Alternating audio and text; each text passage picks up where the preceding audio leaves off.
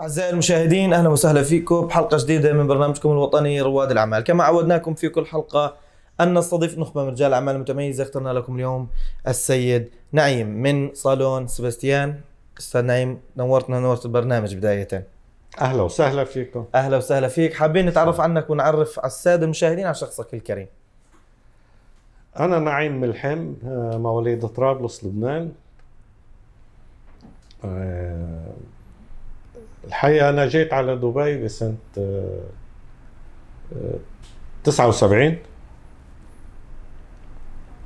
طبعا كانت لبنان عايشة بأزمة معينة وطلعنا منها. آه، هون الحقيقة بلشت آه، بالقوات المسلحة. انتسبت إلى القوات المسلحة. كان عمري 19 سنة. آه، استمريت معهم ل 98 98 كانوا أولادي كبروا. آه، فكرت لهم إنه لازم يكون عندهم مستقبل أقدر كمل لهم دراستهم.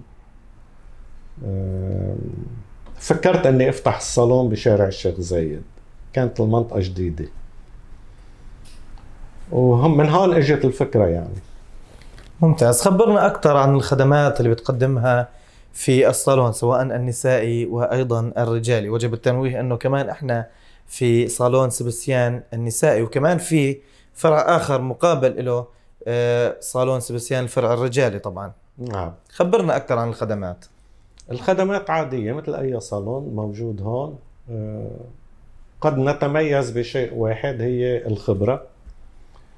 آه، عمر الصالون من بداية 99 ابتدى الصالون هلأ عمره 23 سنة. آه، الحقيقة ال- صدق بالعمل آه، آه، اهتمام بالزبون وبالزبونة. أكيد طبعا.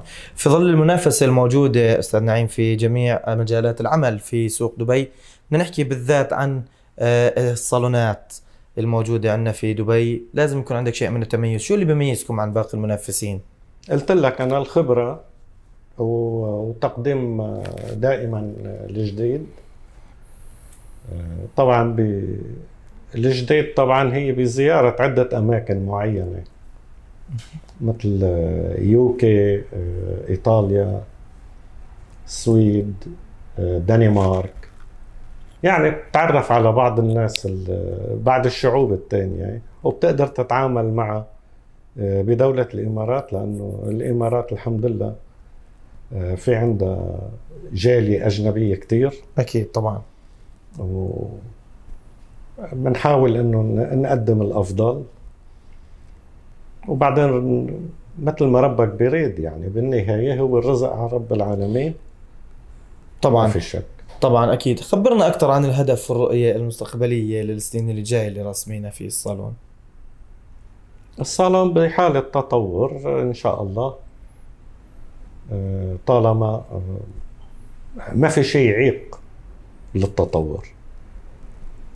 وأي إنسان عنده طموح بيقدر بيقدر يوصل لطموحه بعمله.